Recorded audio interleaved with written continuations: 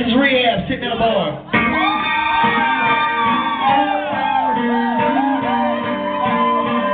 Bartender